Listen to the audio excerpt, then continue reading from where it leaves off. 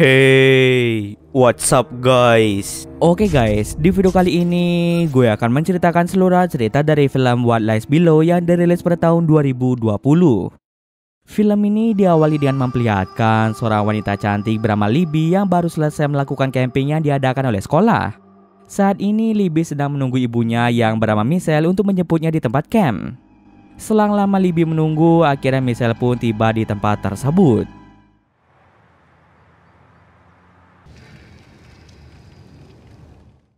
Mereka hanya tinggal berdua saja sementara suami Michelle telah pergi meninggalkan mereka sejak lama. Karena di sepanjang jalan Libby hanya cemberut dan tidak berekspresi sama sekali, Michelle pun meminta Libby untuk mengendarai mobil itu walaupun Libby belum memiliki lisensi mengemudi.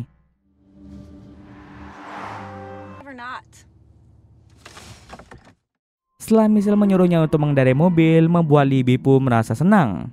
Michelle pun menyuruh Libby untuk pergi ke kabin mereka yang letaknya berada di tengah hutan dan di sekelilingnya terdapat danau yang indah. Sesampai di kabin itu, Michelle memanggil-manggil nama seorang pria yakni John Smith. Ternyata John Smith ini merupakan pacar dari Michelle. Saat ini John Smith sedang melakukan aktivitas berenang. Michelle pun langsung memperkenalkan John pada putrinya yaitu Libby.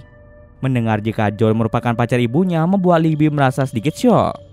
Libby merasa marah pada ibunya yang tidak memberitahukannya bahwa Michelle telah memiliki pacar.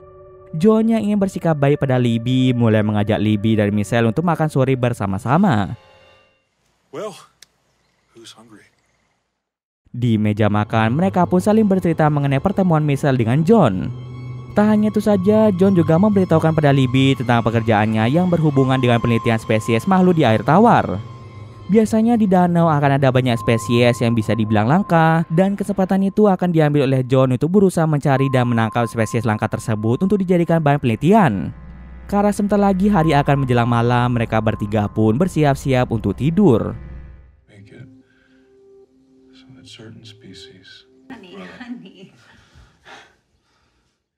Pada tengah malam, Libby terbangun untuk mengambil minuman. Akan tetapi dia malah mendengar suara-suara dari kamar ibunya. Sepertinya Michelle sedang melakukan mantap-mantap dengan John. Libby yang takut ketahuan memutuskan untuk kembali ke kamar. Tak berselang lama, John muncul di depan pintu kamar tanpa mengenakan busana dan Libby terpaksa harus berpura-pura untuk tidur. Semenjak saat itu, Libby merasa ada yang aneh dengan tingkah John. Esok paginya, Libby merasa sangat kesal melihat Michelle yang terus saja berduaan dengan John. Sampai-sampai Michelle lupa bahwa sekarang merupakan tanggal 28 Agustus yang di mana setiap tanggal 28 Agustus Michelle dan Libby akan menggali tanah untuk mengambil sebuah toples yang di dalamnya berisi keinginan mereka di kemudian hari. Kegiatan ini sudah menjadi suatu kebiasaan bagi mereka agar keinginan mereka bisa terkabul di masa mendatang. Setelah itu, Michelle dan Libby keluar kabin untuk menggali tanah dan mengambil toples tersebut. Ketika Libby menyuruh Michelle untuk memasukkan keinginan yang diinginkan oleh Michelle, Michelle malah menolaknya begitu saja, padahal itu sudah menjadi tradisi keluarga mereka. Michelle lebih mementingkan berpacaran dengan John. Terjadilah sedikit perdebatan di antara mereka. Semenjak Michelle berpacaran dengan John, Michelle mendadak berubah secara drastis. Yang awalnya Michelle sangat perhatian pada Libby, kini malah lebih perhatian pada pacar barunya yaitu John. She can have Michelle. I'll take Mark. Ketika Libby ingin mengambil batu, tiba-tiba tangannya digigit oleh Lipan. Di yang sama muncullah John yang mengatakan bahwa gigitan Lipan tersebut tidak beracun, jadi Libby tidak usah khawatir. John kemudian bertanya pada Libby kenapa raut wajah Michelle menjadi cemberut. Memang ini bukanlah urusannya, tapi John berharap Libby bertengkar dengan Michelle bukan karena John. Jika memang penyebab Libby dan Michelle bertengkar adalah ulah dari John, maka John akan pergi dari tempat ini untuk menghentikan perselisihan antara Libby dengan Michelle. Ketika John ingin kembali untuk membersihkan barang-barang bawaannya, Libby malah berubah pikiran dan malah menyuruh John untuk tetap tinggal di kabin itu bersama dengan mereka. Libby merasa jika John merupakan pria baik yang sangat cinta dengan ibunya. Karena telah berubah pikiran, Libby pun segera meminta maaf pada Michelle atas kejadian tadi. Setelah meminta maaf, Michelle memberitahu Libby bahwa sebentar lagi Michelle dan John akan menikah. Mendengar hal tersebut membuat Libby merasa sedikit shock karena mereka baru saja mengenal satu sama lain. Libby mencoba meminta Michelle untuk mengenal John lebih jauh lagi agar Michelle tidak menyesal di kemudian hari. Namun Michelle berkata bahwa mereka sudah saling jatuh cinta dan hal tersebut membuat Libby menjadi bimbang apakah membiarkan ibunya menikah dengan John atau tidak. Demi kebahagiaan ibunya, Libby pun mengizinkan Michelle untuk menikah dengan John. Michelle pun berterima kasih pada Libby yang sudah mau mengerti perasaannya. Satu hal lagi yang Michelle belum ceritakan pada John adalah bahwa umur Michelle sebenarnya 42 tahun. Tapi Michelle berbohong pada John dengan mengatakan jika Michelle berumur 35 tahun. Michelle sengaja berbohong karena ia tidak ingin kehilangan John. Tapi tenang saja, setelah mereka menikah nanti, Michelle akan berkata jujur pada John. Lalu sore harinya, Libby melihat John yang sedang berlari. Namun anehnya, John seperti meminum keringatnya sendiri. Meskipun begitu, Libby tidak terlalu mempermasalahkan hal tersebut. Keesokan harinya, Libby membawakan minuman untuk John yang saat ini sedang bekerja di ruang bawah tanah kabin itu. John pun merasa berterima kasih pada Libby yang telah membawakannya minuman.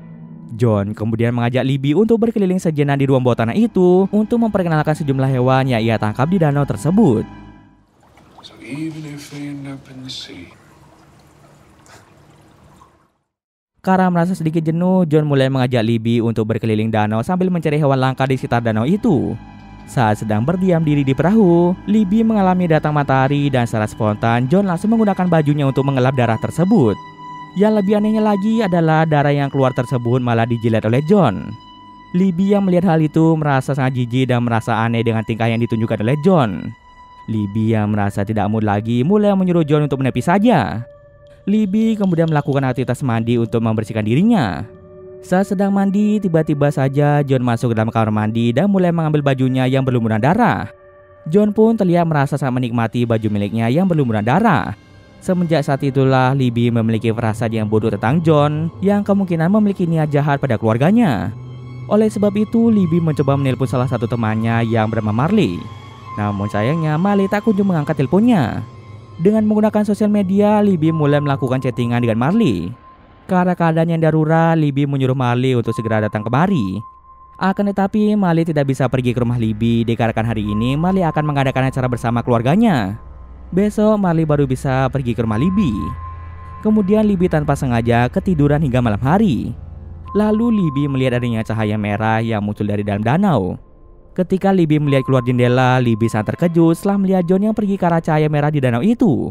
Libby mencoba keluar dari kabin untuk melihat langsung John yang pergi mengarah ke danau. Tapi tiba-tiba saja John muncul di belakang Libby dengan pakaian yang tidak basah.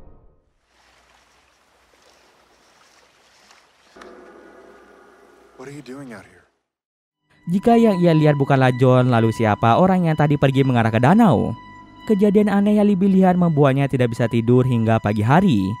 Pagi itu, Michelle berteriak memanggil nama Libby dan ternyata Michelle sedang tidak enak badan.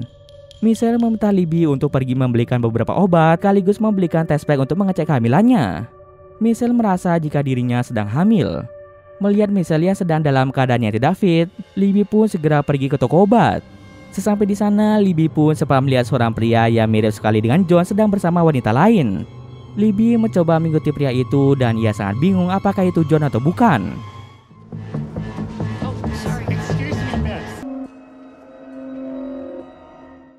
Dengan mengendarai mobil, Libby pun bergegas kembali pulang. Sesampai di kabin, Libby pun melihat Marley yang sudah tiba di kabin. Tak hanya itu saja, Libby juga bertemu dengan John yang sedang bersama dengan Michelle. Jika John berada di kabin setia tadi, lalu siapa orang yang dilihat Libby tadi yang terlihat sangat mirip dengan John? Setelah memberikan sejumlah obat pada Michelle, Libby segera menemui Marley. Libby bercerita bahwa John merupakan pria yang sangat aneh. Kemarin Libby mengalami datang matahari dan anehnya John malah menjilat darah tersebut. Selain itu, Libby juga memberitahu Marley tentang John yang pergi ke dasar danau. Namun tiba-tiba saja John muncul di belakangnya dengan keadaan tubuh yang tidak basah. Jika memang John melakukan hal itu pada Libby, mengapa Libby tidak menceritakan hal itu pada ibunya? Libby memberitahu Marley jika ibunya sudah dibutakan oleh cinta yang menyebabkan ibunya tidak mau lagi mendengar perkataan darinya.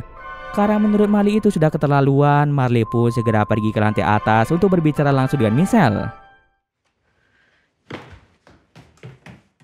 Selagi menunggu Marley turun dari lantai atas, Libby memakan makanan yang ada di kulkas dan tiba-tiba saja Libby terbangun pada malam hari. Libby pun bertanya pada Michelle dan John di mana keberadaan dari temannya yaitu Marley. Mereka berdua menjawab jika Marley sudah pulang sejak Libby tertidur pulas. Michelle kemudian memberitahu Libby tentang kehamilannya. Awalnya Libby tidak setuju jika Michelle mengandung anak dari John. Libby mulai memberitahu Michelle tentang beberapa perilaku John yang menurutnya sangat aneh. Bukannya mendengarkan perkataan dari Libby, Michelle malah balik marah-marah pada Libby. Karena Michelle telah dibutakan oleh cinta, Libby mencoba mengajak Michelle untuk keluar dari kabin tersebut. Namun yang terjadi adalah Michelle malah menampar Libby. Merasa muak dengan semua itu, Libby langsung membongkar rahasia Michelle di depan John tentang umur Michelle yang ternyata berumur 42 tahun. Mendengar perkataan itu membuat John pun merasa marah karena telah dibohongi. Libby yang telah membongkar rahasia ibunya membuat ibunya menjadi sangat marah dan dia tidak mau berbicara lagi dengan Libby. Malam harinya ketika sedang bersantai di ruang tamu, Libby mendengar suara-suara yang muncul dari atap rumah. Libby kemudian mengecek ke kamar ibunya dan Libby sangat terkejut melihat punggung John yang terlihat sangat aneh. Karena takut ketahuan, Libby dengan segera masuk ke dalam kamar. Setelah sampai di kamar, Libby tidak lagi mendengar suara John yang sedang melakukan mantap-mantap dengan Michelle. Ketika dicek, benar saja mereka berdua telah menghilang entah ke mana. Libby mencoba menelpon HP ibunya dan dia mendengar suara HP ibunya yang berada di ruang bawah tanah. Ketika dicek, Libby sangat terkejut melihat Michelle yang berada di dalam tangki berisi air.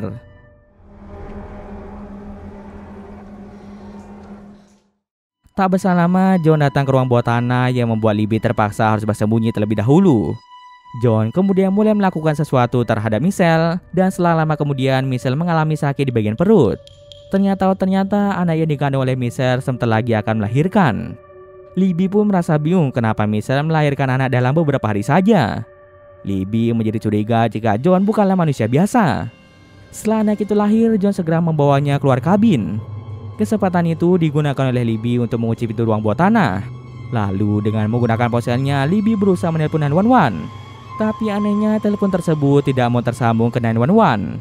Akhirnya Libby pun sadar bahwa ada sebuah perangkat milik John yang membuat HP Libby tidak bisa menelpon.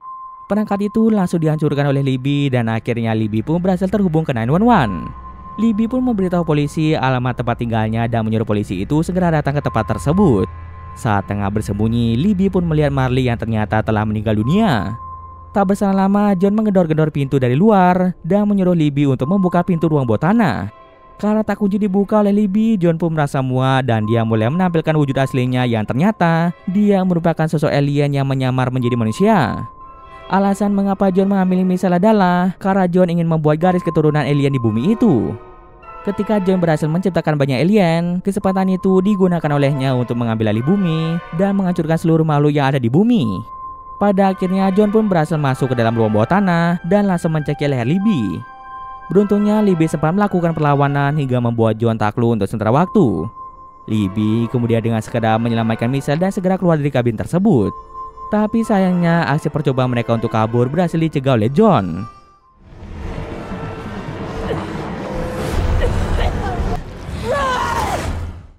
Tiba-tiba saja Libby terbangun di sebuah ruangan bawah tanah dengan kondisi tangan dan kaki yang terikat. Beberapa pria yang terlihat mirip seperti John mulai bermunculan di ruang bawah tanah dan mulai mengupas dinding yang memperlihatkan banyak wanita yang sudah menjadi korban dari John.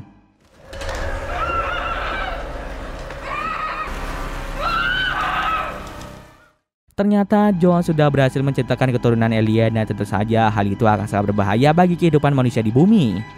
John mulai memuntahkan zat bercahaya dan memasak Libby untuk mengkonsumsinya. Libby kemudian terbangun di deretan tangki air berisi para wanita. Sepertinya para wanita itu akan dijadikan sebagai wadah untuk para alien itu untuk berkembang biak. Ketika tangki air tempat di mana Libby berada terisi penuh dengan air, Libby menyadari bahwa ia bisa bernafas di dalam air dan cerita pun selesai. Oke, mungkin sekian dulu video kali ini. Jika salah gue maaf. Oke, see you next video guys.